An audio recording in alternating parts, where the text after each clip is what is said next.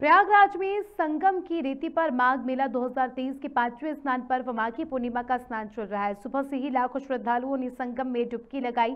वहीं 6 जनवरी से कल्पवास कर रहे कल्पवासी तथा संत मेला क्षेत्र से विदाई लेंगे। चालीस दिन का कल्पवास आज समाप्त हो जाएगा। अब कल्पवासी अगले साल फिर आने का संकल्प लेते हुए मेला क्षेत्र से विदा लेंगे। आगामी 18 फरवरी को अंतिम स्नान पर्व शिवरात्रि होगा। बता दें, माघी पूर्णिमा के स्नान पर्व पर प्रशासन ने लगभग 25 लाख श्रद्धालुओं के संगम में आस्था की डुबकी लगाने का अनुमान लगाया है।